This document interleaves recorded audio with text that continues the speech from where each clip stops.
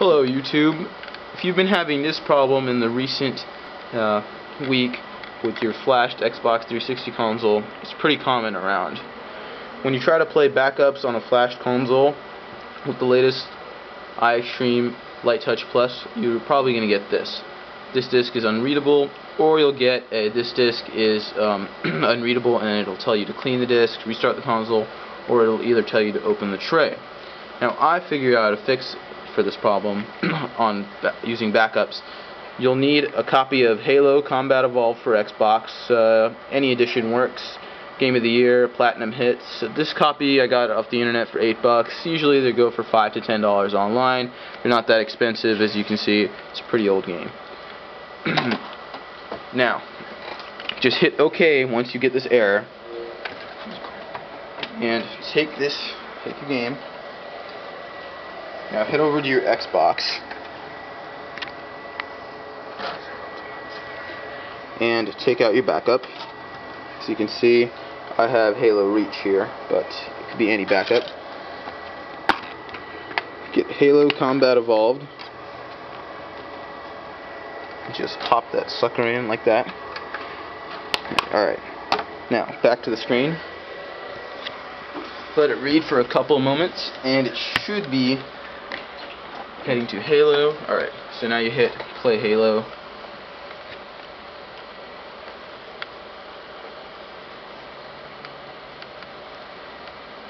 Just give it a moment for it to load up and get to the menu. Hit A on your controller to skip this. Yes, now head down to campaign, pick any profile, now, I know a lot of you people haven't beaten the campaign like I have. For simplicity, I'm going to do the Pillar of Autumn.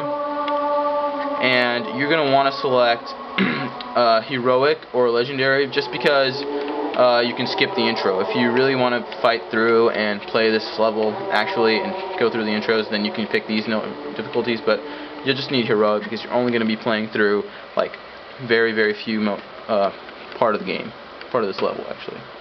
So you can press A to skip this intro. You'll be here, seeing the Master Chief get out.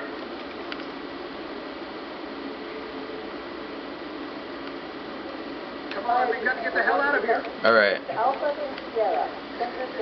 I know you think this can't be serious, but this really does fix the problem now. Let's get to the end here, jump over these. You have to play up to a certain part of the level just for the disc to spin at max. And let's see.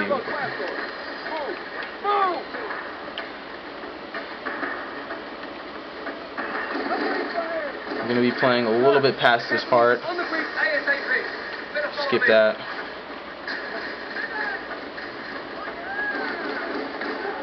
Alright. Almost there. Alright, I'm going in here. Checkpoint.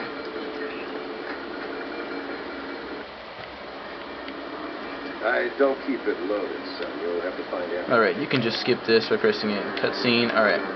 We're almost there. At this point, all you need to do is get a gun out and just shoot some enemies. Let the game load just a little bit longer. Those Marines could use some help, Chief. Yes. Do what you do best. At this point, you can hit start on your controller to pause the game. Now, since the level's loaded through what it's required to load through, we're going to go back on our Xbox system, and back on the Xbox. And now we're just going to eject the drive. This isn't a hot swap, but it doesn't have to be that quick. Just take your Halo disk out, put in your backup, and head back on screen. Obviously, you're going to be at the dashboard but after this, you should be good to go. Give it a few moments to load here.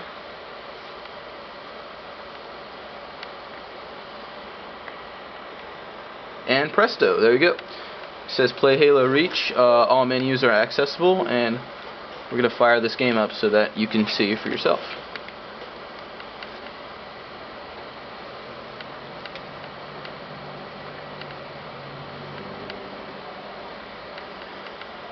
At this point, I'm not sure if this game is safe to go online with. I know it's an AP 2.5 game, and I don't know if it's been patched, but this will let you play offline.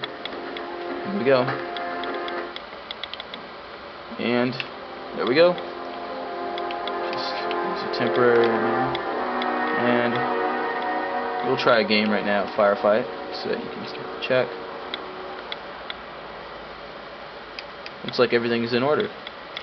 So anyway, this will work with most backups, and pretty much every backup that I've tried works. And the cool thing about this is, right after you head over to the dashboard, right after you've done this fix, you can try another backup. But that's how to get your backups to work again. Thanks for watching. Please comment, rate, and subscribe.